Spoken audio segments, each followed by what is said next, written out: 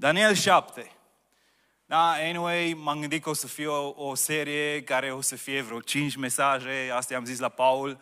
O, până acum, cred că aș putea să vorbesc vreo 15 sesiuni și nu știu dacă continui să mai studiez, cine știe când terminăm cartea Daniel. Dar nu se încadrează deloc cu ceea ce m-am gândit. So, cel puțin trei sesiuni cred că o să stăm în Daniel 7, pe lângă sesiunea de săptămâna trecută, pentru că sunt lucruri care trebuie să le explic mai bine. Așa că Daniel 7 vom citi primele 8 versete și versetul 11 și 12, pentru că are legătură cu primele 8 versete. Dar în mare, Daniel 7, de la versetul 1 la versetul 8, vorbește despre patru fiale, fiare, care sunt un fel de animale, dar nu sunt cu adevărat animale, ok? Sunt ca niște animale, dar sunt diferite și indiciul detaliu este că se ridică din largul mării. Ok? Haideți să citim. Cred că versetul 2 spune, Daniel a început vorbind astfel. În vedenia mea de noapte am văzut cum cele patru vânturi ale cerurilor au izbucnit pe marea cea mare. Și patru fiare mari au ieșit din mare, deosebite una de alta. Ok, vreau să ne oprim aici, să explic puțin ce spun versetele astea. Bun, marea cea mare este Marea Mediterană. Ok? Marea cea mare este Marea Mediterană, ok? Ăla e contextul. Și spune că din mare, din mare, au ieșit patru fiare mari, deosebite una de cealaltă. Da, trebuie să vă dau o explicație aici, pentru că peste tot în Scripturi, mare este un simbol în scrierile profetice și ea reprezintă neamurile, națiunile păgâne, ok? Să o țineți minte detaliul ăsta, mare este un simbol în scrierile profetice și ea reprezintă națiunile, neamurile, nea, națiunile păgâne sau neamurile în mod constant, ok? În scrierile sfinte, anticristul, imperiul și religia sa sunt portretizate ca ieșind dintre neamuri. Dar ce sunt neamurile? Neamurile sunt neevrei. Bun? Motiv, motivul pentru care mă focalizez pe acest lucru, motivul pentru care este important, și e important pentru faptul că, în mod constant, prin Scriptură, Anticristul este întotdeauna înfățișat ca fiind un dictator dintre națiuni care se ridică și adună împreună o coaliție de națiuni dintre neamuri care atacă, invadează și încearcă să distrugă poporul evreu și să desfințeze statul Israel. Ok? Ascultați-mă bine, pentru că există o învățătură în creștere, o idee în lumea profeției potrivit care Anticristul este de fapt un evreu fals, un pseudo-mesia un Mesia evreu, un lider sionist care se va ridica, care va fi urmat în primul rând de evrei și sioniști și chiar de creștini înșelași, atunci ar învinge toate națiunile, neamurile din jur, pentru că vă spune, oh, ce minunat! E ceea ce am așteptat dintotdeauna, să vină cineva care umblă în semne și minune, să spune cuvântul Dumnezeu despre el, că umblă în semne și minune, dar vreau să știți, problema e că asta nu este modul în care Biblia îl înfățișează pe Anticrist. El nu este un individ care se ridică din interiorul statului Israel, ci se ridică dintre neamuri, ok? El a fost portretizat ca un dușman al Israelului, iar acest lucru are legătură cu profeția din Geneza 3 cu 15, referitor la acest conflict care apare în Geneza 3 cu 15. Știți ce spune Geneza 3 cu 15? 3 cu 15 spune vrăjmășie voi pune între tine și Dumnezeu, între sămânța ta și sămânța ei. Aceasta îți va zdrobi capul și tu îi vei zdrobi călcâiul. Îi vorbește lui Satan. Ok? Anticrist este sămânța lui Satan. Și sămânța lui Satan, vreau să mă auziți bine, sămânța lui Satan nu se dezvoltă în Apocalipsa. Sămânța lui Satan se dezvoltă în întreg Vechiul Testament. În, vechi, în întreg Vechiul Testament vezi cum sunt două semințe. Ok? Este o sămânță care vine în mod constant împotriva poporului Israel înainte să existe America, înainte să existe Europa, ok? Este o sămânță demonică care se ridică și stă tot timpul în Vechiul Testament împotriva lui Israel, ok? Ăsta e doar un argument despre Anticrist, o să vorbim într-o altă sesiune și o să vă explic mult mai multe lucruri de ce, de ce Anticrist nu este evreu, dar pentru că asta e aici așa, în textul ăsta, vreau să vă spun că atunci când studiem din Scripturi, trebuie să începem cu Geneza, nu cu Apocalipsa. Am spus și săptămâna trecută lucrul ăsta. Nu poți să începi și să faci o descriere a lui, a lui Anticrist pe vreo două sau trei pasaje, din, cu privire la vremurile din urmă și să spui că, ok, anticrist este evreu, când sunt o grămadă de alte pasaje care dezvoltă tema asta și care spun despre anticrist cu totul altceva. Dar să revenim, mai sunteți cu mine? V-am pierdut. Bun, so, un exemplu clar unde marea reprezintă națiunile, ok? Păgâne. Pentru că ăsta e un lucru care trebuie să-l argumentez. Pentru că v-am zis că este un simbol al națiunilor păgâne, ok? Asta trebuie să vă arăt undeva în Scripturi. Sunt multe pasaje în Scripturi, dar pot să pun unul sau două versete ca să nu vă plictisesc. Isaia 60 cu 5. Isaia 60 cu 5 spune, când vei vedea aceste lucruri, vei tresări de bucurie, îți va bate inima mai tare și se va lărgi, căci bogățiile mării se vor întoarce spre tine și avuțiile popoarelor vor veni la tine. Sau în original nu este cuvântul și, ok? Ăsta este ceva pus de cel care a tradus, ok, de Cornilescu în cazul nostru, dar cuvântul și nu există acolo și ceea ce scrie este o explicație. Și vă spun, imaginea din Isaia 60 este despre întoarcerea lui Mesia și apoi după ce se întoarce Mesia, bun, vor veni caravane de cămile dinspre Arabia Saudită, dinspre Liban, și oamenii își aduc resurse la Ierusalim pentru a reconstrui templul, pentru a preamări și a înfrumuseța casa lui Dumnezeu. Ei vin cu aur, cu bogății și aduc înapoi pe copiii lui Israel care au fost dispersați, răspândiți în națiunile pământului. Iar versetul ăsta în original spune că bogățiile mările, mărilor se vor întoarce la tine, virgulă, iar apoi reiterează același lucru folosind un limbaj diferit. Bogăția neamurilor, a națiunilor îți vor fi redate, ok? E un simbol biblic folosit în mod constant cu privire la neamuri și vă mai dau un verset, ok? Apocalipsa 17 cu 1, când vorbește despre curva cea mare, curva Babilonului, spune că ea stă pe ape mari, ok? Stă pe ape mari. E un alt verset, da, curva aia nu stă pe ape așa doar ca să fie o imagine acolo, ci apele reprezintă ceva și apele reprezintă națiunile pământului care sunt influențate de religia ei falsă, ok? Ați priceput până aici. Da, mergem mai departe ca să citim. V-am spus că aceste patru fiare reprezintă imperii, regate, națiuni, puteri dintre națiunile păgâne, dintre neamuri.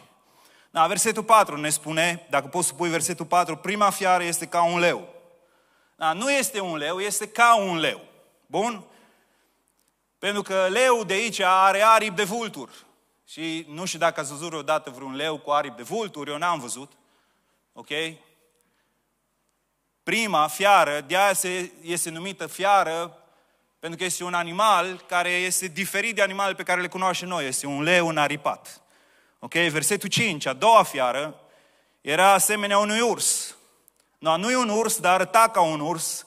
Stăca, stătea culcată pe o parte, ok? Și avea trei coaste în gură. Avea trei coaste în gură. Cele trei coaste reprezintă cele trei provincii ale Babilonului pe care tocmai le-a cucerit, ok? Faptul că mânca reprezintă că a cucerit teritoriu, ok? Teritoriul respectiv. Bun? Mergem mai departe. A treia fiară, o a treia fiară care semăna cu un leopard, iar pe spate avea patru aripi, avea patru capete și s-a dat autoritate să conducă. Ok? Avem din nou un leopard care are patru capete, sau e diferit de ce cunoaștem noi sau nu știu, poate ați văzut vreodată leoparzi cu patru capete, eu n-am văzut. Să-mi zice și mie la ce grădină zoologică să caut. Reprezintă o a treia împărăție, ok? Și apoi, versetul 7, a patra fiară este foarte distinctă. Foarte neobișnuită, diferită de celelalte trei. Dacă stați și vă uitați, fiara asta nu ni se spune ce tip de animal este. Nu, se, nu ni se spune că este leu, nu specifică decât că este înfricoșătoare fiara, îngrozitoare și foarte puternică. Ne spune că avea dinți mari de fier și a zdrobit și a devorat victimele și a călcat în picioare tot ce a mai rămas. Era diferită fiara asta de toate celelalte fiare și avea 10 coarne. Ok? Fiara asta avea 10 coarne. Nu știu, ați văzut vreodată vreo fiară cu 10 coarne? Nu știu dacă există vreun animal cu 10 coarne. Mai studiem, mai vedem, poate există. So, versetul 8 vorbește despre cornul cel mic, despre care vom vorbi în detaliu, ok? So, între aceste 10 coarne, la fiara asta patra, apare acest corn mic, care crește așa de mare că dezrădăcinează trei cornuri dintre ele, bun? Cornul ăsta mic avea ochi ca ochii unui bărbat, bun? Ca ochii unui ființe umane și o gură care vorbea foarte sfidător sau blasfemit, blasfemeitor. No, acest cormic care le reprezintă pe Anticrist vorbește cu mândrie, nerușinare și sfidător. Ok? Sau n-ați văzut niciodată corn cu ochi și cu gură, da? E în Scriptură aici, bun? La fiara asta. Sau mergem la versetele 11 și 12. Mai sunteți cu mine? Sau versetele 11 și 12 se leagă de aceste prime 8 versete. Sau din versetul 9 la versetul 14 o să studiem, probabil săptămâna viitoare, scena se mută de la fiara asta, care se ridică din mare pe pământ, la sala de judecată cerească, în sala tronului lui Dumnezeu. Sau următoarea scenă pe care o are profetul Daniel este în sala tronului lui Dumnezeu. Și acolo trebuie să studiem pentru că sunt niște lucruri foarte importante pentru noi să înțelegem, care au de-a face cu Domnul Isus. Ok? Dar, în mijlocul încăperii, ok, Dumnezeu judecă aceste fiare. Iar în versetul 11, deci, e sala tronului ceresc, ok, și o sală de judecată în care Dumnezeu judecă aceste fiare și de la versetul 11 spune că mă uitam mereu din pricina cuvintelor pline de trufie pe care le rostea cornul acela. M-am uitat până când fiara a fost ucisă și trupul ei a fost nimicit și aruncat în foc ca să fie ars. Versetul 12, un verset foarte important, versetul ăsta 12, pentru că spune niște detalii, ok, care ajută la interpretare. Și celelalte fiare au fost dezbrăcate de puterea lor, dar li s-a îngăduit o lungire a vieții până la o vreme și un ceas anumit. Zice că și celelalte fiare au fost dezbrăcate de puterea lor, dar lor li s-a mai dat un timp ca să poate să trăiască în continuare, ok? So, deci în timp ce a patra fiară e ucisă, aruncată în foc și distrusă imediat, ok, țineți minte detaliul ăsta, cele, la celelalte li se prelungește viața în momentul judecăților. E ca și cum ar avea voie să trăiască și v-am zis, versetul ăsta e foarte important. No, există două moduri principale de a interpreta această parte a viziunii. Două moduri principale. Mai sunt altele, dar sincer, din perspectiva mea, celelalte nu, nici nu trebuie băgate în seamă așa de mult. E o interpretare preteristă în care nu are rost să mă bag pentru că chiar nu are de-a face cu ce spune aici. Dar, anyway, două interpretări. Prima este aceea că astea patru, patru fiare sunt imperii istorice. Deci se referă la un segment mai mare al istoriei. Ele sunt puterea ale națiunilor, sunt imperii ale neamurilor și una se succede celelalte. Bun? Și oamenii ăștia vin și spun, ok, astea patru fiare sunt niște imperii istorice care au avut loc chiar atunci când era Daniel în Babilon. Ok?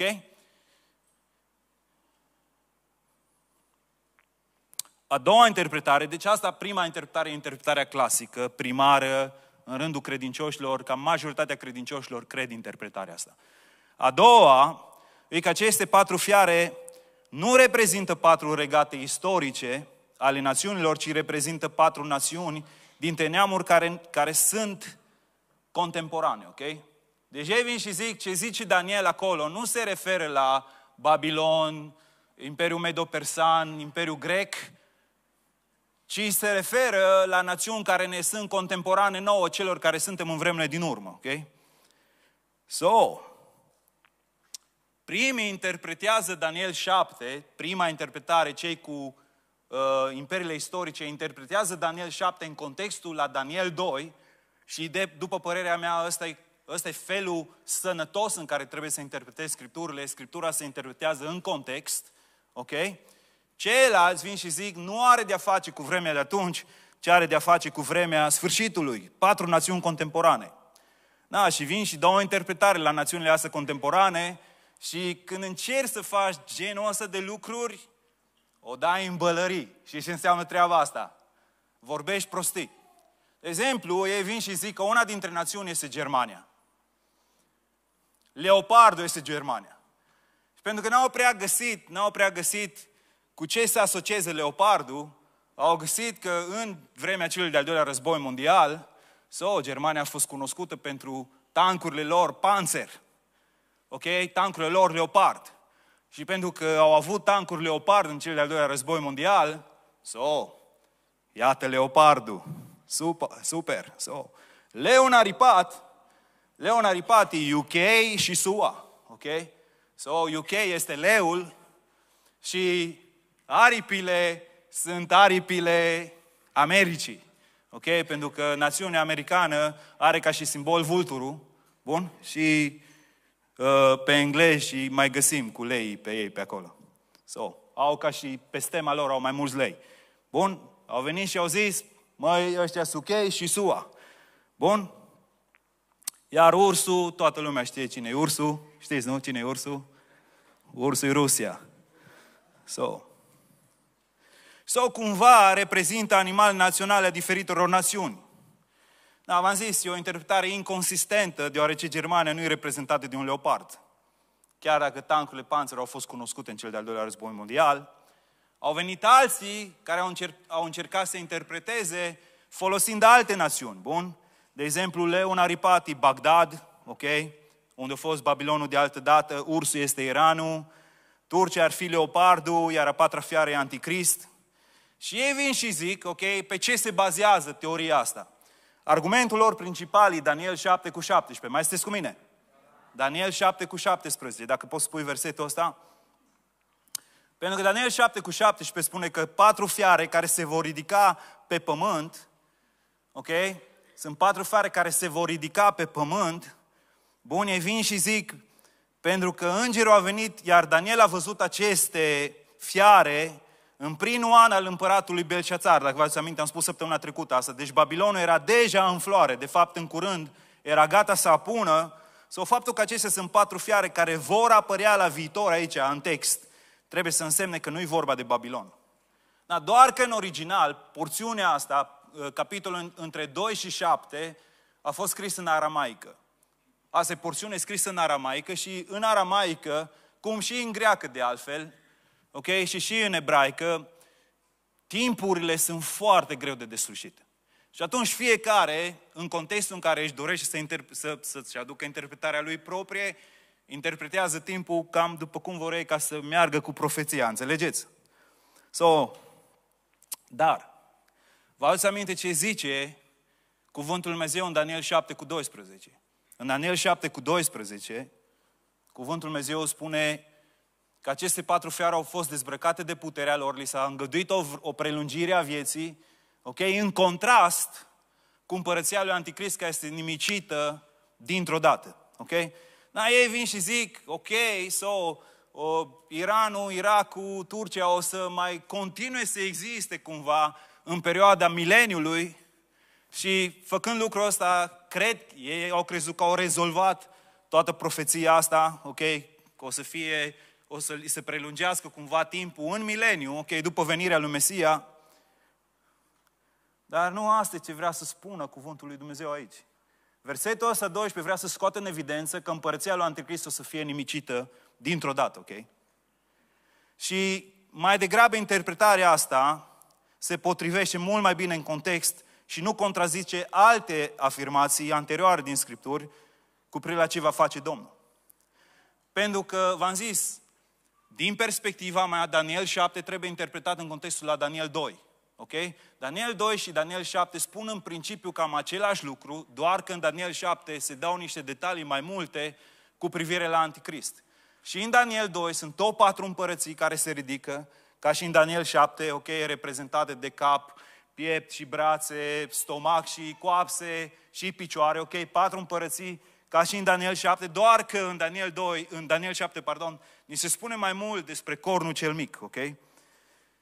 E un contrast între distrugerea celui de-al patrulea regat și distrugerea celor trei imperii mai dinainte și istoria ne confirmă că atunci când ne uităm la Babilon, Medopersia și Grecia, astea au fost imperii la care s-a referit în, în Babilon Daniel și apoi o să vedem și în Daniel 8, când se vorbește doar despre două din cele patru împărății, o să redescoperim, ok, în Daniel 8 este un țap care se luptă cu un berbece, ok?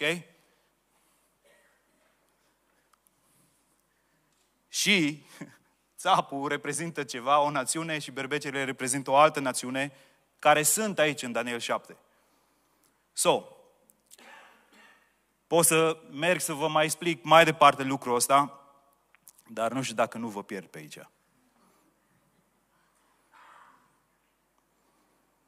A patra fiară are dinții de fier, care se corelează, v-am zis, cu picioarele de fier din Daniel 2. Din picioarele de fier din capitolul 2 ni se vorbește despre 10 degete care reprezintă 10 națiuni. Ceea ce vedem și în Daniel 7 cu 27 cu privire la cele 10 coarne, ok? V-am zis, vom studia mai mult despre asta. Dar focalizarea în versetul 12 nu e pe cele trei împărății, care vor avea mai mult de trăit, ci în contrast cu faptul că celelalte asta o să fie distrusă dintr-o dată. Pentru că dacă stai și te uiți în Daniel 2, Daniel 2 vine și spune că toate împărățile deodată vor fi nimicite la sfârșit. Ok? So, dacă toate vor fi nimicite la sfârșit deodată, nu mai pot avea o extensie în mileniu, ok? Ce s-a întâmplat de-a lungul istoriei? Este un lucru pe care putem să-l înțelegem simplu. După ce Babilon a fost cucerit de Medo-Persia, de exemplu, Babilonul și-a pierdut autoritatea, dar Babilon a continuat să existe. Ok? A continuat să existe, a continuat să, uh, da, să supraviețuiască Imperiului Medo-Persan. La fel, după ce Imperiul Medo-Persan a fost cucerit de Imperiul Grec, și Imperiul Medo-Persan a continuat să existe, ok? Nu a fost nimicit și distrus, dar n-a mai avut autoritate. A venit un alt conducător care și-a impus încetul cu încetul cultura atunci când Alexandru a venit pe tron, ok? Și o întrebare ce o am pentru voi. Bun? Pentru că acum o să vorbim mai mult despre interpretarea pe care eu nu o cred cu privire la Imperiul Roman. Și vreau să vă întreb câteva lucruri. Pentru că aici vine și zice că fiara a patra zice că zdrobește, zdrobește, sfarmă cu dinții, ok? Când vorbești despre sfărmarea cu dinții, despre faptul că mănâncă, înghite celelalte națiuni, ok? Se referă la cucerirea teritoriilor. Dar nu doar atât, nu doar le cucerește, ci le zdrobește și le calcă în picioare. Le zdrobește și le calcă în picioare. Acum a eliminat Imperiul Roman, a șters, a zdrobit, a devorat, a călcat cu ghearele sale de fier ce a rămas din Imperiul Grec. E o întrebare. Ce limbă s-a vorbit în Israel în primul secol, sub dominație romană? Știe cineva? Ce limbă s-a vorbit în Imperiul, în Imperiul Roman?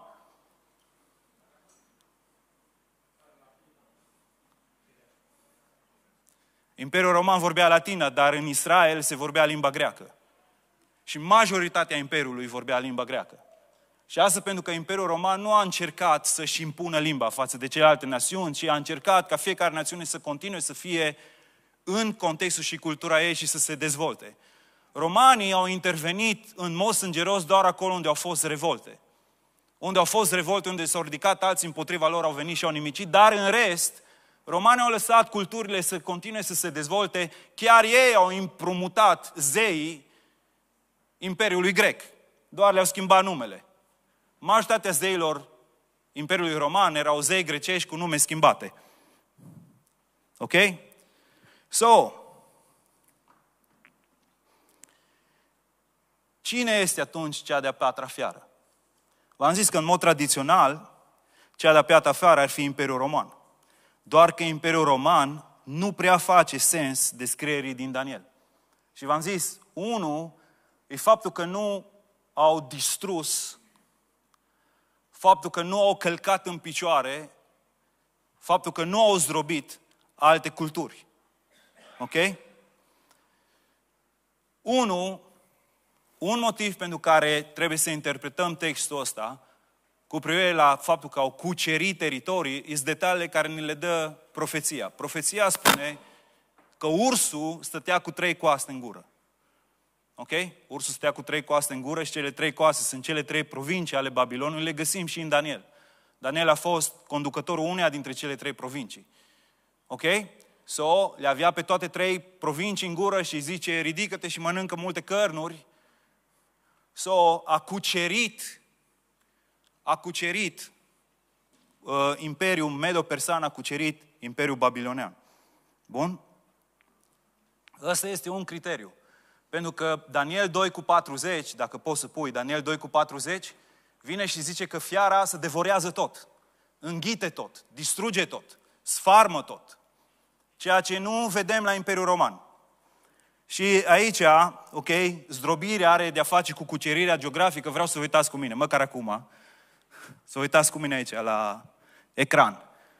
Dacă poți să pui hărțile alea, prima hartă este o hartă a cuceririi Imperiului Babilonian. Ia să vedem.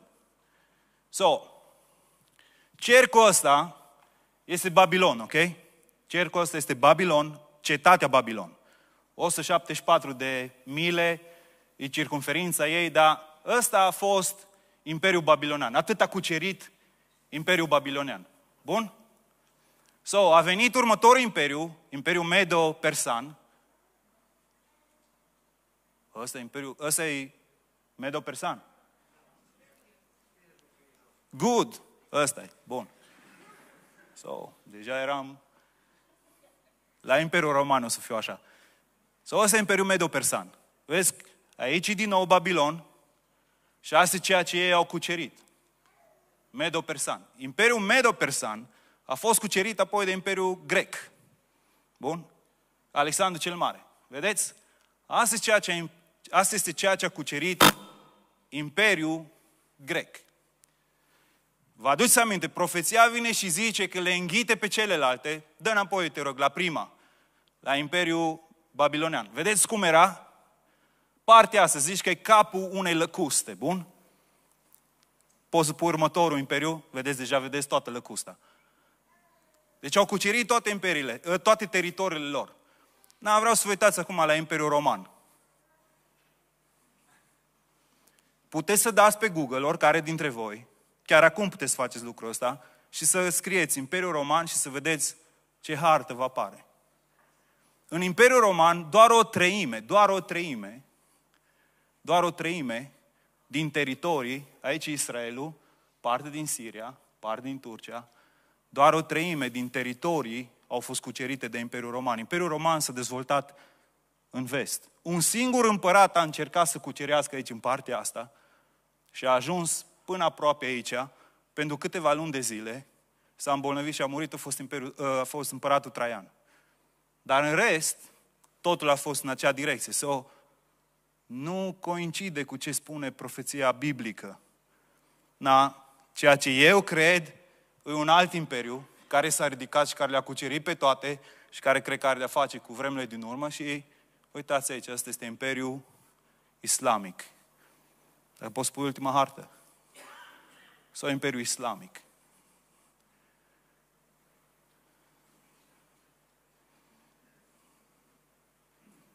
Imperiul Otoman. De ce cred că Imperiul Otoman? Da, Imperiul Otoman este cunoscut de-a lungul istoriei ca unul care zdrobește, care distruge, care decapitează. By the way, în Apocalipsa, cuvântul Dumnezeu ne vorbește despre faptul că martirii sunt decapitați. Este cam o singură națiune în istorie care lucrează în felul ăsta. Romanii au crucificat oameni. Musulmanii decapitează oameni. Chiar și acum fac lucrul ăsta. Decapitează oameni. Dar acolo unde Imperiul musulman s-a răspândit, să știți că peste tot, peste tot, oamenii ăștia au încercat să schimbe culturi. N-au rămas într-un loc în care cultura poporului respectiv rămâne, ci au încercat prin forță să distrugă cultura și să-și impună cultura lor. Asta puteți să citiți mult prea mult de vorbit.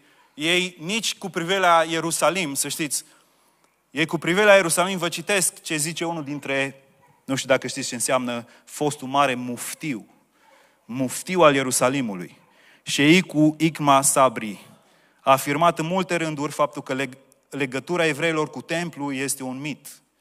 El a spus, musulmanii nu știu și nu cunosc faptul că muntele templului are vreo legătură sacră pentru evrei. Într-un fel asemănător, fostul șef al justiției de la Curtea Religioasă din Palestina, ok, Pot să vă zic numele, dar nu știu dacă vă interesează. Taisir al-Tamini a afirmat, evreii nu au nicio legătură cu Ierusalim. Nu știu de niciun sit evrei sacru în acest oraș. Încă din 1967 Israel a săpat după dovezi ale templului lor sau la istoriei lor fictive, dar n-au găsit nimic. Na, să știți că, uite, vă dau o altă imagine. Asta este o, o imagine cu Hagia Sofia din Istanbul. Nu știu dacă ați uh, vizitat-o vreodată. Cândva a fost clădirea cele mai mari biserici creștine.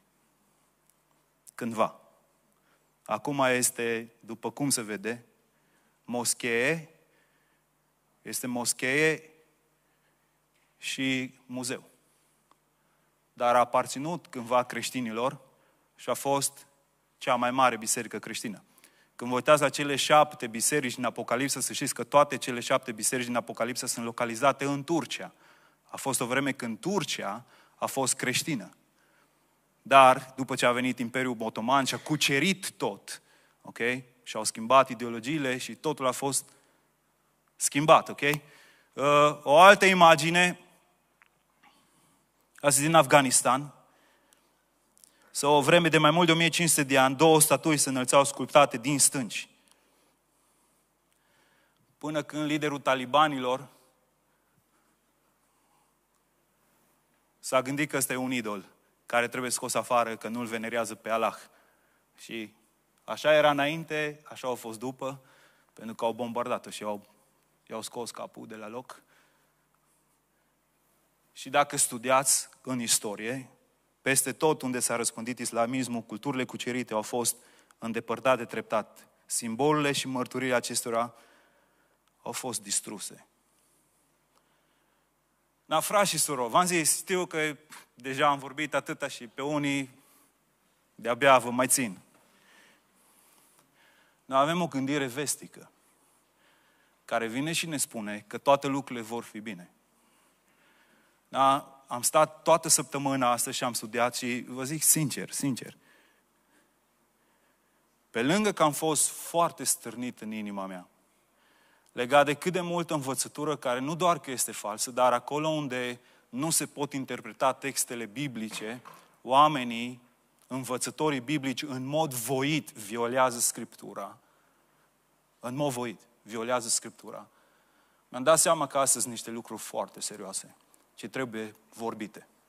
Nu știu cum o să fie, cum o să arate viitorul nostru, pentru că lucrurile astea trebuie vorbite. Deja, cred că vreo 10, poate mai, mult, mai multe sesiuni, pot să vorbesc despre răpire și să vă arăt cum au fost distorsionate învățăturile cu privire la răpire în bisericile noastre.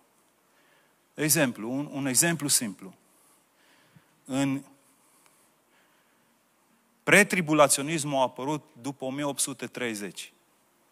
Până în 1800, și aici vă chem pe voi să faceți o cercetare istorică dacă vreți, nu s-a găsit niciun document, niciun document istoric care să ateste că cineva a crezut în răpire înainte de necaz. Din primul viac până în secolul XVIII. Nici un document. Dar sunt câteva documente care sunt interpretate foarte greșit. Chiar am vorbit cu Dani Toma, de exemplu. am vorbit cu el, că știu că el studiază despre lucrurile astea și am vorbit despre păstorul din Herma. Lui Herma. Ok? Și în viziunea 4 se vorbește despre a fi scăpat de necaz. Ok? Dar viziunea 4 nu poate fi interpretată în afara viziunii 2. Care este o viziune în care păstorul lui Herma are o bătălie cu o fiară, iar el zice clar că fiara este necazul cel mare.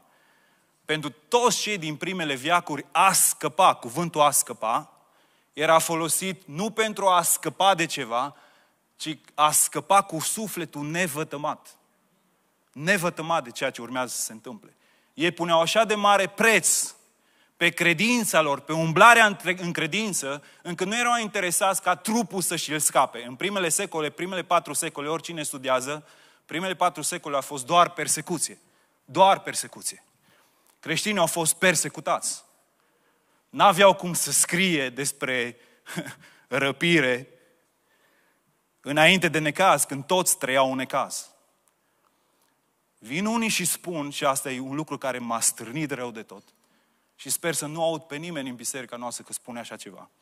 Vin unii și argumentează cu ideea asta, că Dumnezeu nu poate să-și bată mireasa înainte să se căsătorească cu ea. Dragilor, asta este o blasfemie la adresa lui Dumnezeu. Și vă zic de ce.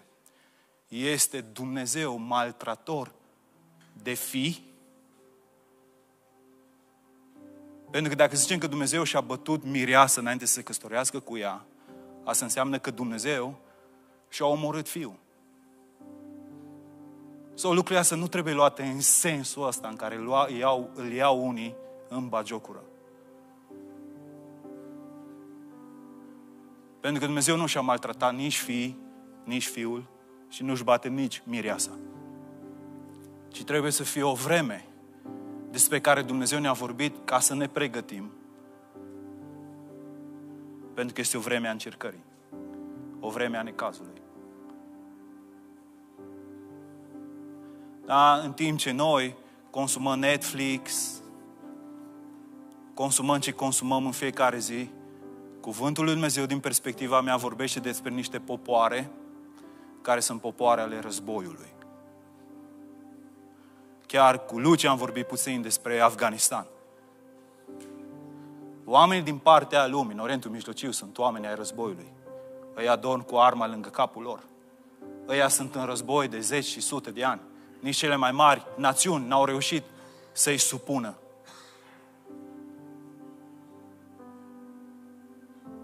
Cuvântul Dumnezeu spune că vom fi dați să fim uciși, să fim maltratați.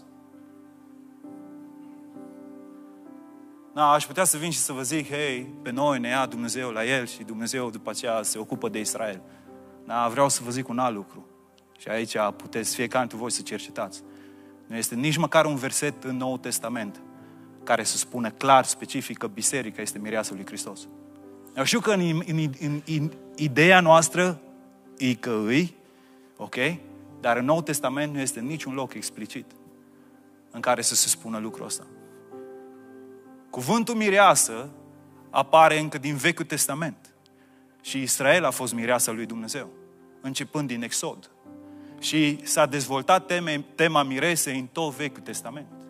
În Noul Testament, Cuvântul Dumnezeu vine și ne spune că biserica este altoită în Israel. Și pentru că suntem altoiți în Israel, suntem mireasa lui Dumnezeu, lui Hristos. Dar nu spune nicăieri că doar biserica este mireasa și evreii sunt, toate promisiunile din Scriptură au fost date evreilor.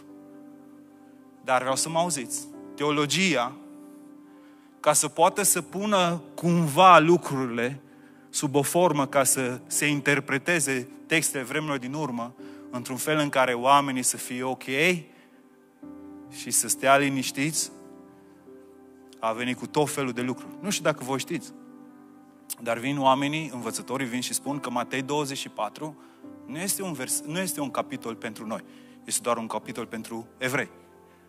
Oh, wow! Dar cum știi tu că le doar un capitol de Majoritatea dintre noi poate nici n-am știut, dar vreau să vă zic. Ei spun Matei 24, nu e pentru sfinți, nu e pentru creștini, e doar pentru poporul Israel. Știți de ce? Pentru că acolo stă scris că va fi un necaz cum n-a fost niciodată pe pământ. Și apoi, ăsta e versetul ce nu le place la băieții ăștia, Matei 24 cu 29, un verset. Nu trebuie să ai nicio școală teologică ca să vezi ce versetul ăsta. Zice, îndată, cuvântul ăla nu poate să-l scoată nimeni din Scripturi. După acele zile de necaz după acele zile de necaz. Soarele se va întuneca, luna nu-și va mai vedea lumina, estele vor cădea din cer, puterile celor vor fi clătinate și spune că atunci va veni Fiul omului. Da, pentru că nu se combină textele, comentatorii vin și zic că vor fi două veniri a lui Isus. Da, Biblia vorbește despre o singură a doua venire a lui Isus, dar unii vin și zic că sunt două. Una în secret doar pentru sfinți și alta în public. Da? Să nu scrie nicăieri în Scripturi. Dar v-am zis, textele le violăm din ce în ce mai mult ca să ne iese argumentul. Și sunt multe, multe bazaconii și o să le vorbim noi altă dată. Dar vreau doar să vă zic un lucru și cu asta vreau să închei. E interesant că și în escatologia Domnului Isus, Carta Daniel este importantă. Știți că Domnul Iisus nu dă prea multe detalii cu prea vremele din urmă?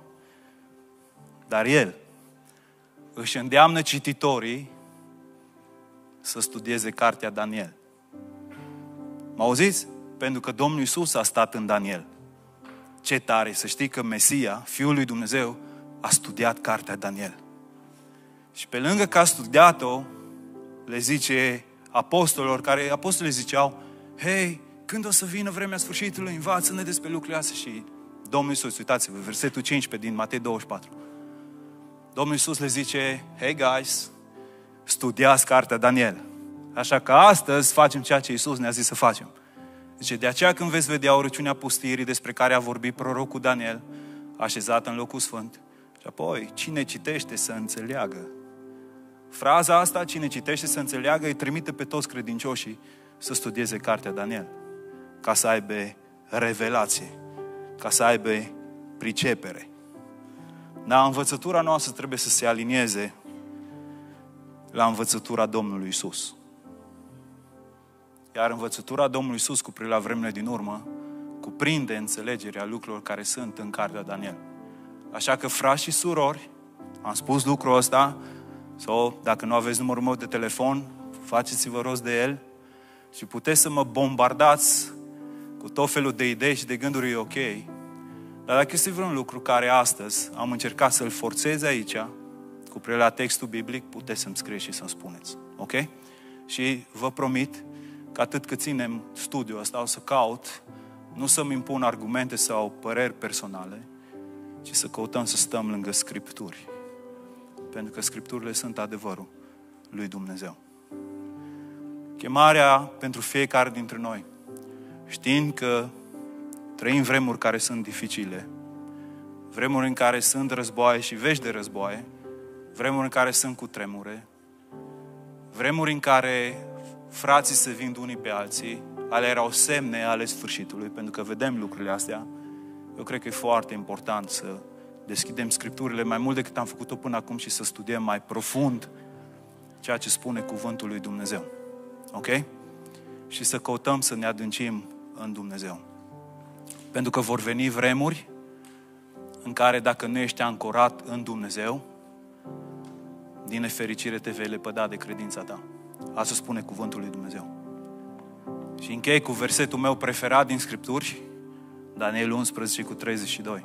Dar aceia din popor, care vor cunoaște pe Dumnezeul lor, vor rămânea tari și vor face mari sprăvi. Dar aceia din popor care vor cunoaște pe Dumnezeul lor, vor rămâne tari și vor face mari isprăvi. Așa că, indiferent ce vremuri vin, caută să-L cunoști pe Dumnezeul tău. Pentru că, indiferent ce vremuri vin, dacă îl cunoști pe Dumnezeul tău, vei rămânea tare. De ce trebuie să rămâi tare?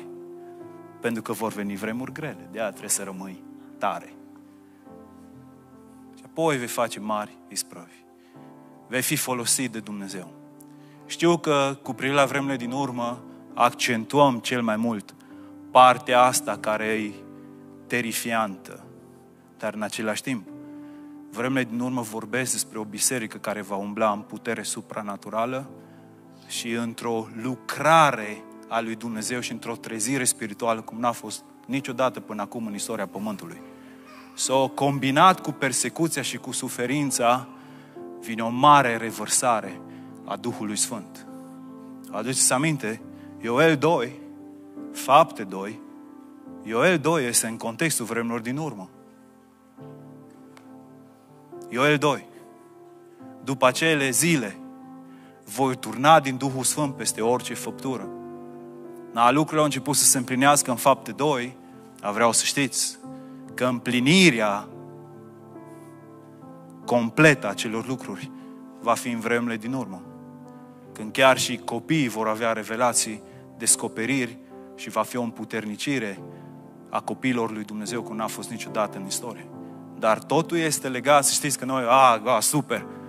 Toate lucrurile astea sunt legate de aceia din popor care vor cunoaște pe Dumnezeul lor. Duhul Sfânt să știți că nu va veni peste oricine. Va veni peste cei ce cunosc pe Dumnezeul lor. Ei vor face mari sprăvi, ei vor fi împuterniciți de Duhul Sfânt să facă lucrarea lui Dumnezeu. De aceea, în timp ce studiem aceste lucruri, trebuie să ne curățim, trebuie să ne sfințim, trebuie să nu lăsăm inima noastră să meargă după idoli, pentru că o inimă care are idoli este o inimă slabă. Și să căutăm să ne sfințim ca să fim împuterniciți de puterea supranaturală a lui Dumnezeu. Pentru că vor veni vremuri grele. Iisus a zis, da, v-am citit numai versetul 15, dar vedeți voi ce spune mai departe după versetul 15. Iisus a zis, la viitor. Iisus a zis că va fi un caz cum n-a fost niciodată pe pământ. Niciodată pe pământ? Și ce înseamnă când Iisus zice lucrul ăsta? Iisus a zis, un caz cum n-a fost niciodată pe pământ. Un caz cum n-a fost niciodată pe pământ? Voi ați văzut ce s-a întâmplat în al doilea război mondial și Holocaustul, ce s-a întâmplat acolo? Și cum poporul lui Dumnezeu a fost aproape exterminat? Mai mare necaz ca și ăla va fi în vremea de atunci. Mai mare necaz decât ceea ce spune plânge lui Ieremia sau Ieremia, în care mamele, mamele își fierbeau copiii morți ca să aibă ce să mănânce? Da, dacă credeți că asta nu scrie, scrie în Biblia ta. Mai mare necaz decât necazul ăsta, Isus a zis în cuvântul său. Da, pentru lucrurile astea ar fi bine să cauți, să nu te mai rogi doar 5 minute pe zi și să citești când îți aduci aminte că există cuvântul Lui Dumnezeu. Sau așa, duminica ci să cauți să devii un om serios în studierea Scripturilor. Un om serios în căutarea feței lui Dumnezeu, în a-L cunoaște pe Dumnezeu într-un mod intim. Că atunci când va fi lepădarea de credință tu, să rămâi tare. Dar vreau să ne rugăm Domnului cu toții. Și ar fi bine să te rogi pentru tine și ar fi bine să te rogi pentru casa ta. Să fii păzit de Dumnezeu.